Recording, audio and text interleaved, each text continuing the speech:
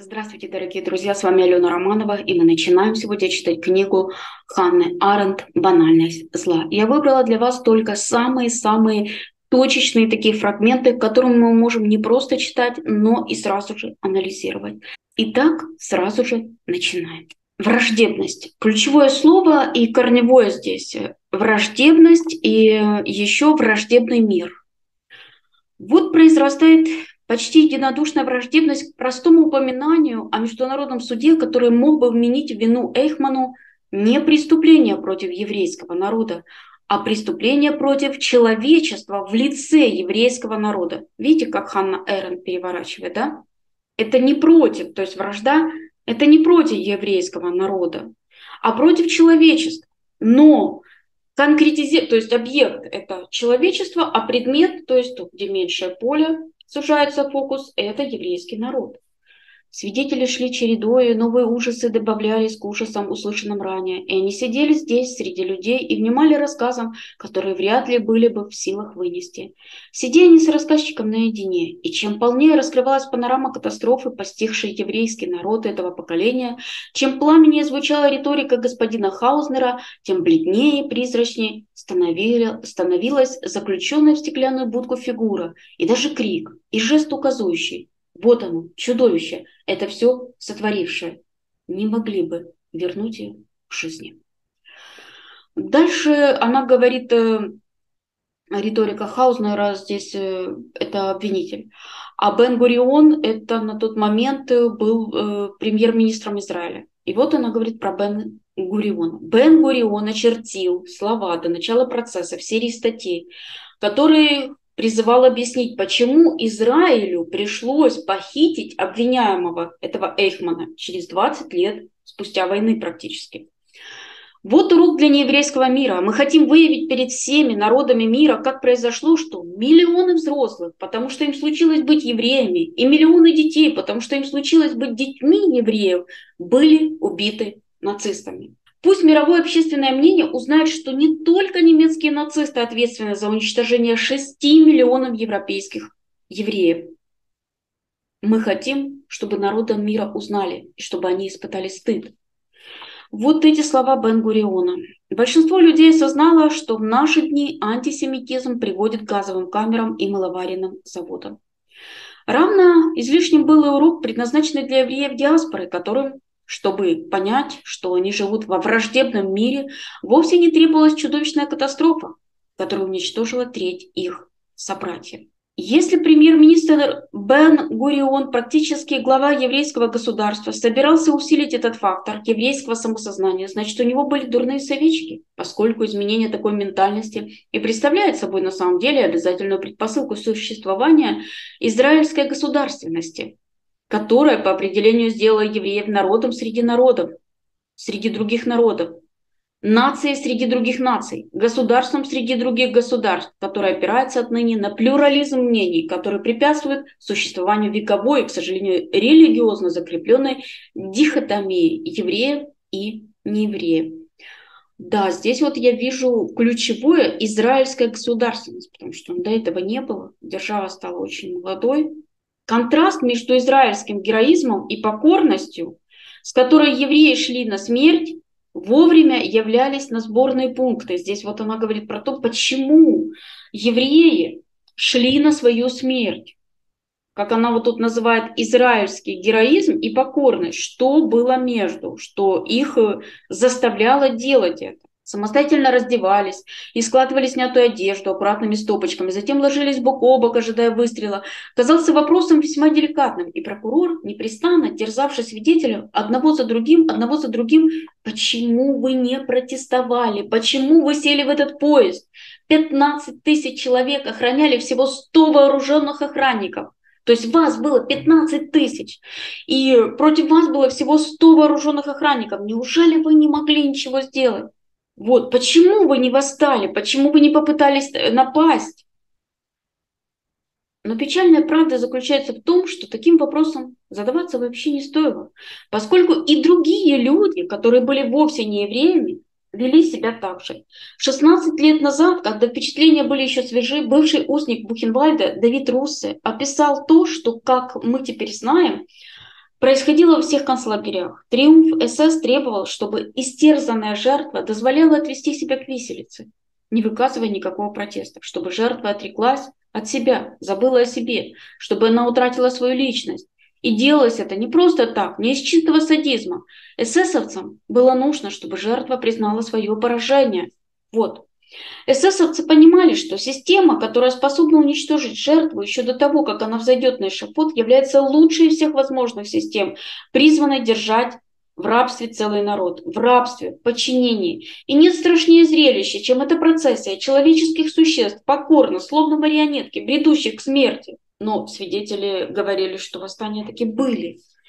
Сопротивление было. И хотя подобные события занимают лишь маленькую часть в истории Холокоста, они много подтверждают тот факт, что только очень юные были способны решить, что не твари мы дрожащие. Ну, второй аспект, который здесь важный, был и ключевой, что ведь и сами евреи, они тоже много работали на нацистов и записывали, да, вели этот учет, помогали фашистам. Упомянула это в своей книге, за что ее, конечно, потом обвинили сами же израильтяне в том, что она не совсем права, и на самом деле, мне кажется, что Ханна Арен постаралась быть более объективной вот в этой книге, чтобы это не было, что эта книга просто ее личный плач или просто плач еврейского народа. Она показалась, хотела показать ну, всю картинку, вот как с высоты э, орлиного полета и как это все было. Когда профессор из Колумбийского университета Сейло Берон давал показания касательно недавней истории восточноевропейского еврейства, доктор Сервациус, более не в силах противиться искушению, все же спросил, так почему все эти несчастья выпали на долю еврейского народа? Не думаете ли вы, что в основе судьбы этого народа лежат некие иррациональные мотивы, недоступные человеческому пониманию. И нет ли во всем этом чего-то вроде духа истории, который движет историю вперед, без влияния и участия человека? И не является ли господин Хаузнер последователем школы законов истории? Тут мы видим намек на Гегеля. И не продемонстрировал ли он нам, что лидеры не всегда достигают, достигают целей, которых они намеревались достичь?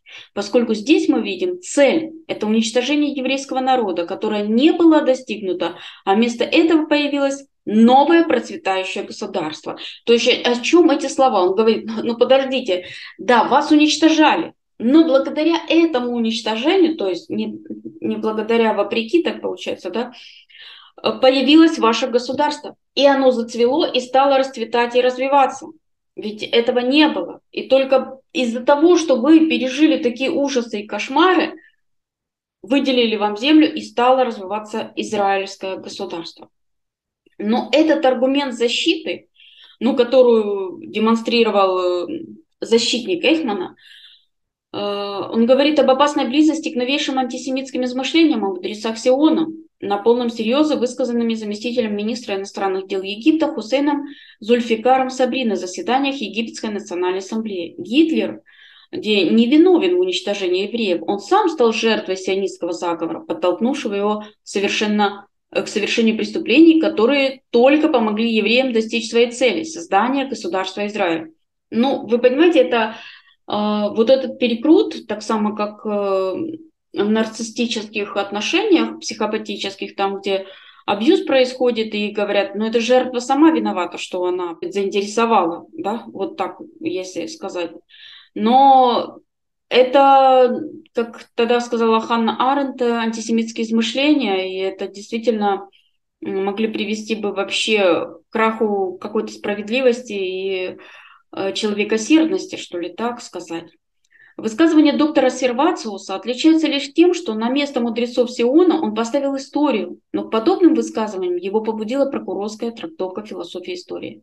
Вопреки намерениям Бен-Гуриона и всем усилиям прокурора на скамье подсудимых, все-таки оставался человек из плоти и крови. И если Бен Гуриона не заботило, какой приговор будет вынесен Эйхману, единственной задачей суда в Иерусалиме был все-таки приговор. То есть зачем его притащили, зачем его израильские власти э, схватили в Аргентине, зачем они это сделали? Чтобы был приговор. чтобы было возмездие, чтобы кто-то понес это наказание. Подход э, самого Эйхмана был совсем иным. Прежде всего, он не был согласен с обвинением в убийстве. Ну, кто согласится?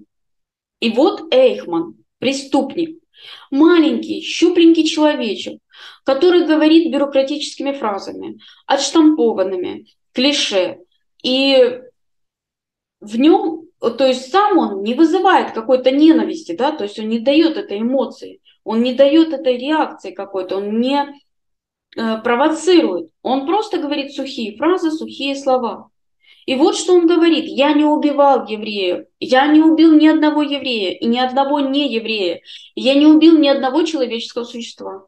Я не отдавал приказа убить ни еврея, ни нееврея. Я просто этого не делал. То есть он говорит о том, что я стал заложником этой ситуации. Я просто был исполнителем, я исполнял приказ, потому что ну, я был на такой должности, и тогда существовала такая вот э, политическая система, и я не мог э, ее нарушить. И как позже он сказал, ну так уж произошло, что мне ни разу не пришлось этого делать, никого убить. Ибо сомнение в том, что доведись ему получить приказ убить собственного отца, он бы этот приказ выполнил. И в этом Ханна Аренд не сомневается. И более того, она поражала, что он говорил, что у него не было в роду, то есть у него не было ненависти к евреям, у него даже в роду были какая-то корневая линия была еврейская. До вершения всего священник, который регулярно навещал Эйхмана в тюрьме, после того, как Верховный суд завершил слушание его апелляции, назвал Эйхмана человеком с весьма положительными взглядами. И вот эта вся комедия с экспертами-душеведами потребовалась для доказательства неоспоримого факта. Это не случай моральной и уж тем более юридической неадекватности. И судьи не поверили, потому что, будучи людьми порядочными, возможно, слишком даже совестливыми для своей профессии, не могли представить, что обыкновенный, нормальный человек, не слабоумный, не циничный, не жертва пропаганды, оказался абсолютно неспособным отличить добро от зла, то есть не способным проявить личностный поступок.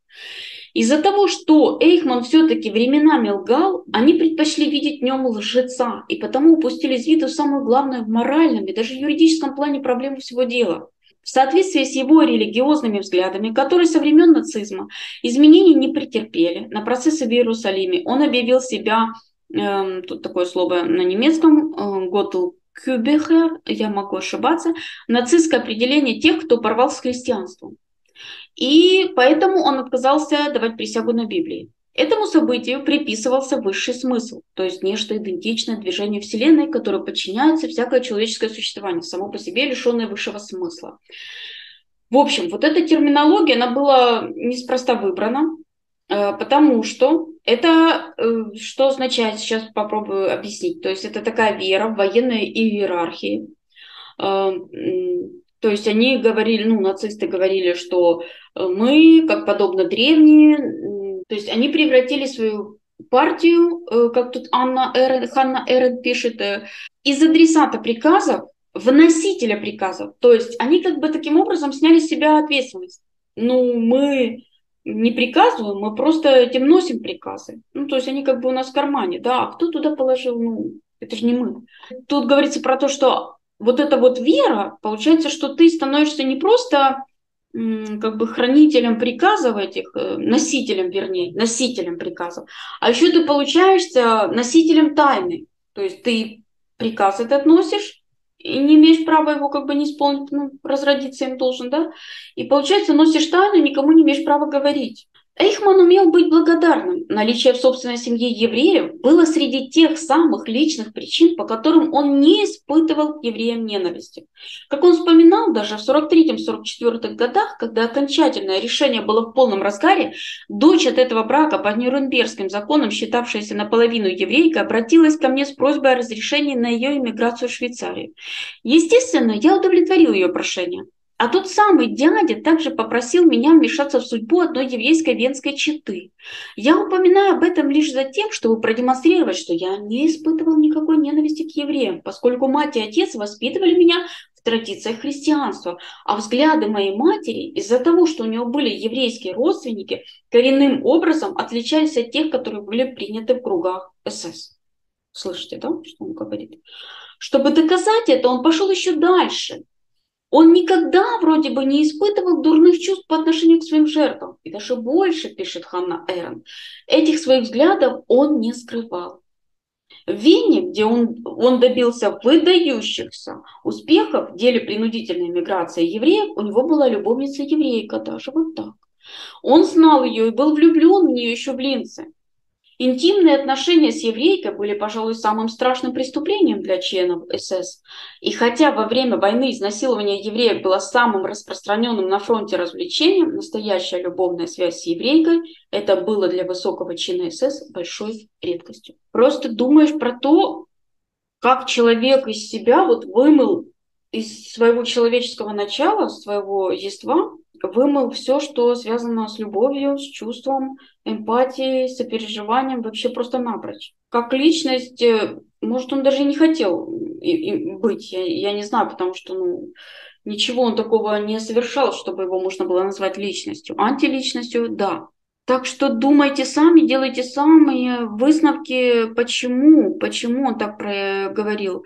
И еще, знаете, я тут иногда говорю Анна а-, Арен, потому что первая буква Х во французском не читается, у меня уже немножко эм, на французский манер происходит. Принимайте это как есть. С вами была Алена Романова. Еще услышимся. Следите за моими анонсами и не пропускайте банальные зла.